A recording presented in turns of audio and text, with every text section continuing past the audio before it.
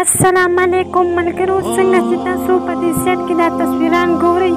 شیخ قاسم صاحب او عمران خان د دې متعلق اصل کې په دې فیسبوک باندې دا پوسټونه کېږي چې ته وبېلله او دی وکړو هغه وکړو زه خو د سیاست کار کې زما څه نشته خو اصل کې دواړو طرف نه ویم چې داسې پوسټونه مه کوئ چې د خلکو زړه پرې خفه کېږي ګوره ملګرو دا علم دین دی لوی عالم دی لوی شیخ دی د ده متعلق داسې خبرې کول نه دي پکار پاتې شعورونه هغه د دوی خپلو کې کار دی سیاست دی عوامو له دا نه دي پکار چې د یو سیر نه یو خبرې کوي د بل سیر نه بل خبرې کوي اصل کې خلکو ته میسج ورکول څه دي دواړو طرف نه اصلاح کول پکار دی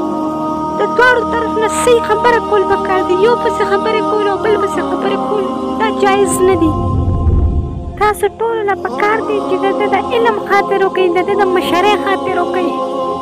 ټول ښه دي دا زه نه وایم چې ټول دا پوسټونه کوي خو دا بعضې بعضې ملګري پکې داسې قسم پوسټونه کوي نو هغې ته زموږ درخواست دی چې ګوره پارټي مارټي دا په خپل ځای خو دا یو لوی علم دی د ده د زړه د خفه کولو دپاره دا قسم پوسټونه مه کوئ مهرباني وکړئ اوس چې زه یم نو زم دا خبره نه کوم زه د یو پارټي نه یم زه د دواړو دغه کوم دفاع کوم زه د چا دغه نه کوم او دا هغه خلکو ته دا میسج ورکوم چې کوم خلک دغه قسم پوسټونه ما خپل ځاني ډېر زیات وکتل نو زه پرې مجبوره شوم ما پرې ځکه ویډیو وکړه که تاسو ما سره د ویډیو کې شامل یې نو خپل کمنټ ضرور وکړئ او ان شاء الله